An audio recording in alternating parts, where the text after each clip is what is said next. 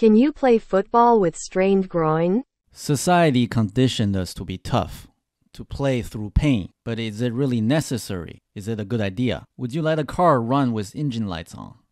Or flat tires? If the answer is no, then why do we think it's okay to play through pain and suffering month after month or even years? We are in the time that we normalize pain in sports. I say no. There is a better way forward through hyperarch fascial training. We need to understand that the fascia is a container for all tendons and muscles, provides holistic protection. This tissue matrix, when impaired and entangled, could cause unexplained pain in the body when we move and run. The first thing you want to do is fascial roll using the HFT fascia chart and identify where the fascial adhesions are.